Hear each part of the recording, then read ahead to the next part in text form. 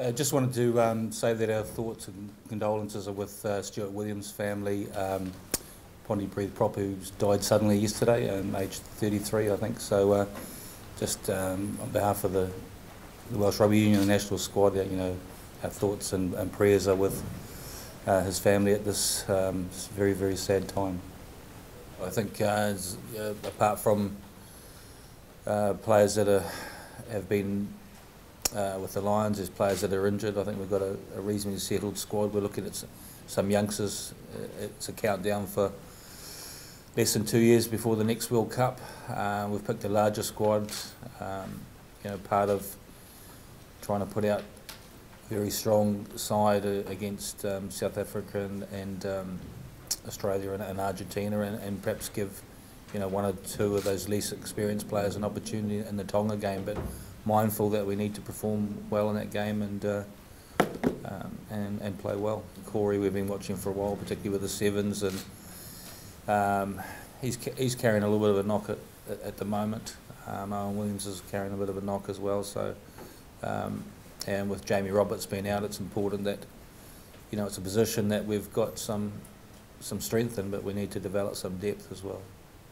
We're going with Jamie. There's, there's speculation that he may be potentially available for the last game, but um, we've got a few players at the moment that are carrying knocks and injuries, and, and uh, you know we just haven't got the personnel for him to come at the moment for us to to rehab him. You know he's made that decision to go to France, so they can look after him for a while, and uh, um, you know maybe we'll assess him in a few weeks and see how he is. Um, with Alex, he's had some scans. Uh, it's not it's not great. He needs some more scans, and then we can make a final decision on, on him. It looks like there's a bit of a ligament being pulled away, but you know I'm not uh, medically qualified to know how long he's going to be out for.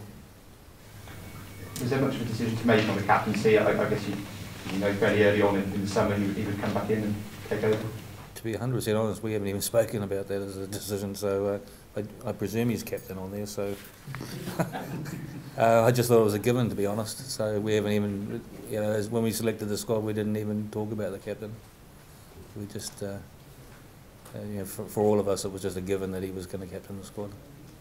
If you look at previous Lions tours, um, France have tended to be the team that have won um, post Lions tour in the, in the Six Nations, and the nation that's of it usually heavily represented, you know, tends to struggle, and not because of uh, it's just a, it's just an accumulation of not just the, the last 12 months, but the last 18 months or two years, and so you know, for all of us, it's being aware of that and making sure that we manage our um, players really effectively. So, you know, going into that first game, uh, a little bit of trepidation. I, I, I, think that the nice thing is that South Africa, um, the information coming to us is they preferred that they would have liked us later in the the autumn campaign, um, and I think it's a sign of respect, uh, particularly with the the, the, the, talent in the squad that we have. So you know, there's a chance to get them a little bit cold maybe in, in that first game. But they're always tough. They're always physical. Um, but we've you know it's important for us to hit the ground running and, and hopefully we can uh, start the uh, the autumn off with a you know good performance and a good result. You know we've we've done well and. Um, campaigns we've, we've gone on we've really focused and you know whether it's been a World Cup campaign or whether it's been a Six Nations and and uh, you know times we probably haven't performed uh, as well as we would have liked against other, some of the Southern Hemisphere teams. So that's the progression and the development of, the, of a side, and you know, hopefully there's enough experience in this team now to start pushing on and and to start maybe making an impact on Southern Hemisphere teams over the next couple of years. And so that's that's a task that's set for us.